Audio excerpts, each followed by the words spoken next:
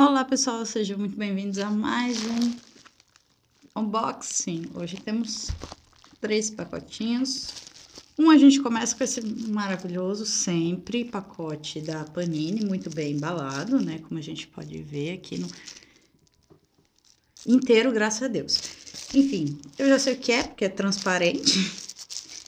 Mas enfim, terminando então essa assinatura, se não me engano, é, o último volume da primeira parte Chainsaw Man, então volume 11.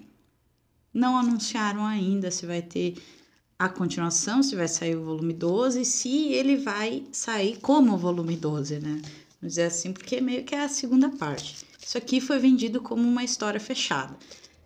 Tem uh, casos, né, como Ictosen, tem Old Boy, que também é, é, separado por temporadas, eles falam. Só que essa prática não é mais feita, então eu não sei como eles vão abordar daqui para frente.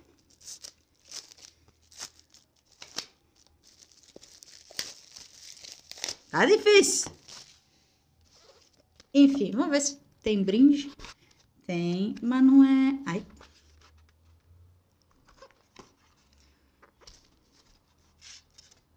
Deus meu. Não é calendário. Eu acho que ele é da do mês de. É bonitinho. De dezembro. Não é vendido separadamente.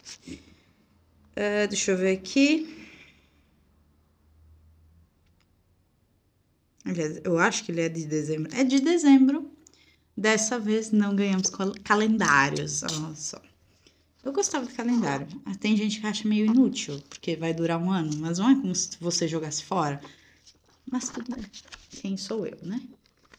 Aqui. Eu não quero mostrar muito pra vocês não ganharem muito spoiler, né? Porque esse volume é meio cabuloso. É, mas a princípio tudo certo. Tem aqui a...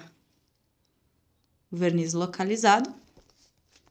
Do outro lado também. E essa essa, esse último volume é muito parecido com o primeiro, né? As mesmas coisas.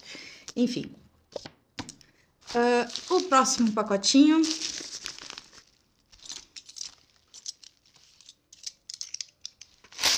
Eu tenho que comprar o estilete novo, gente. E tem dois. Cara, eu acabei de te guardar. Que droga. Vou ter que achar um buraco. Aliás, eu acabei de guardar os dois. É Hell's Paradise, volume 9, que por algum motivo lá estava escrito volume 8. Só que nas especificações estava volume 9, então eu, eu sinceramente estava com medo de comprar. É, agora faltam três volumes. Nossa, essa história tá maravilhosa. Lembrando que vocês podem pedir. Ah, não. Ah, tá, que susto. Eu cheguei. Tinha um spoiler aqui na apresentação dos personagens. Mas é, uma, é um personagem que já morreu faz tempo, então, beleza. É, eu achei. Esqueci o que eu ia falar. Ah, sim, vocês podem pedir uh, review, né? Dos volumes. Eu acho que eu não mostrei a coisa do Chainsaw Man. Vocês podem pedir reviews, vocês podem ficar bem à vontade, comentar, né? Aqui então o volume 9, eu não li ainda o 10 porque me faltavam 9. É, isso aqui tá com cola ainda. Vou dar um, um jeitinho antes de guardar. E uh, Shangri-La Frontier, volume 2, porque estava numa promoção impossível de não comprar.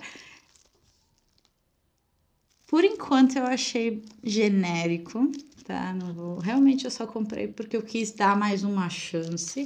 Tipo, não é nada inovador, mas eu quero ver se me surpreende. Eu tô botando zero expectativas e é assim que tem que ler, porque é ali que a gente se surpreende. A edição é simples. Ai, que bonitinho! Opa, peguei a página errada. Eu não sei se é inspiração, porque eu não li. Eu venho adquirindo mais. Ah, não, é só adquirir ele, o ela, não sei. Mais bonecos para passar o tempo. O que, que é aqui? Ah, só uma. Mais uma nota. E aqui, então, volume 2. Esse aqui parece ter mais falas, mais explicação que o primeiro, então. E por último, isso aqui é uma pré-venda. Ai, obrigada, Amazon. Tra mandar uma pré-venda antes, né? Que ultimamente eu tô recebendo sempre dois meses com atraso.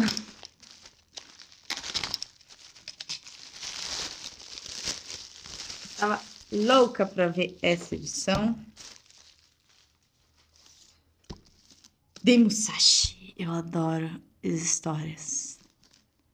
Eu ainda tenho que comprar o livro. Eu não li o livro e eu quero saber porque as pessoas xingam a besta, tá? As pessoas não gostam da besta porque por algum motivo alguém falou que tinha a ver com vagabunde.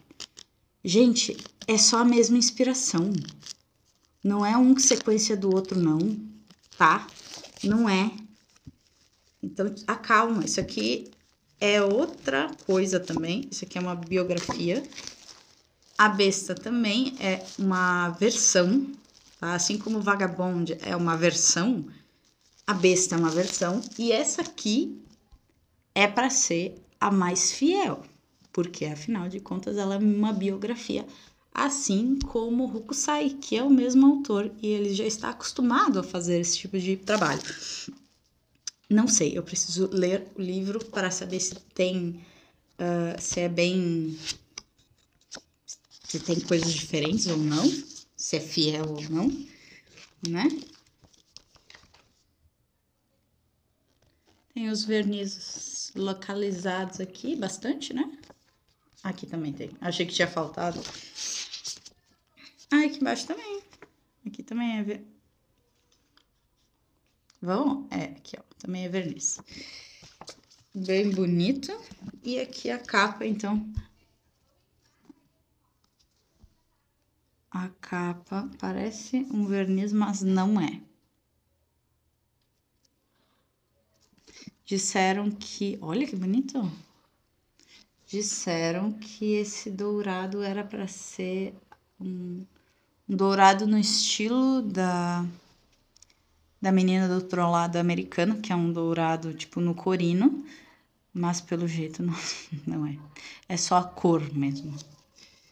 E aqui, vamos ver se tem algum brinde. Tem. Então.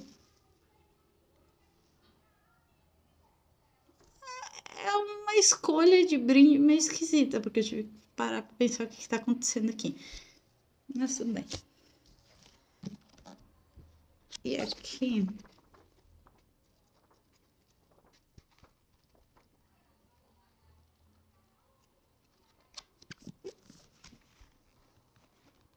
Ai, nossa, passei que foi uma beleza, né?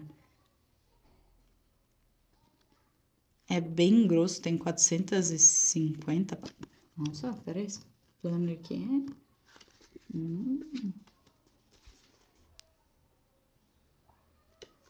Hum. quero quebrar a lombadinha, né? Vamos abrir assim.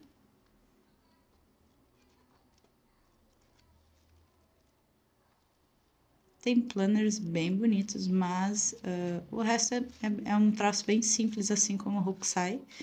Bem semelhante ao trabalho, assim, visual. Enfim, essas foram as aquisições, então, de hoje. Como eu falei, se quiserem alguma review, algum comentário sobre Quase Caiu, deixem nos comentários. Não se esqueçam de se inscrever nesse canal. Se curtiu, compartilha também. E até a próxima. Fui!